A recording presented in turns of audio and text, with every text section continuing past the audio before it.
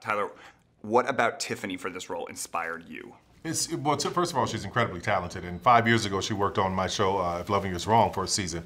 And to have this moment for, it's e- really easy for me to write for her because all I do is write Madea 30 years ago.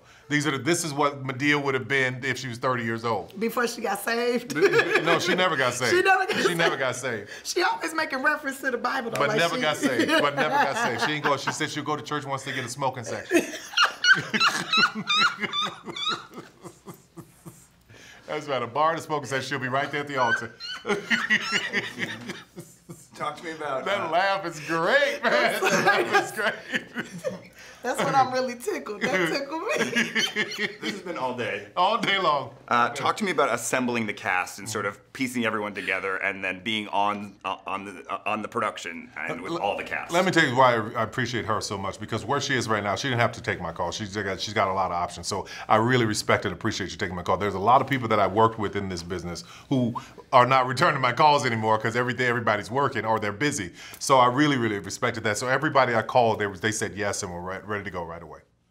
Tiffany, for you, did you know Tika Sumter before this? Did you guys have a relationship? Um, you met. When did you first meet? What was that experience like? Um, the first time I met Tika was when we our first day of shooting, and it was amazing because she is, I mean, just like one of my sisters, and I've watched her over the years.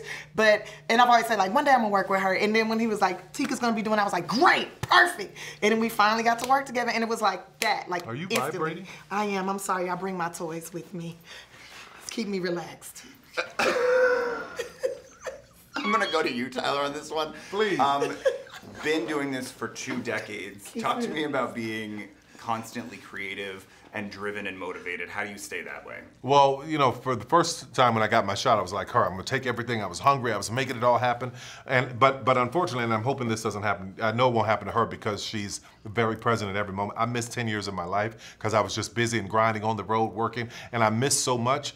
But but now where I am in, at almost 50, it's about legacy and what I'm leaving for my son, what I'm showing people. You know, 25,000 people came through the studio to work last month alone, came through the gates, 25,000 cars. So so I'm just trying to make sure that um, it's about the legacy and going forward. And Tiffany, last question, which we've done this before already. Um, what about this film made you want to work with this guy?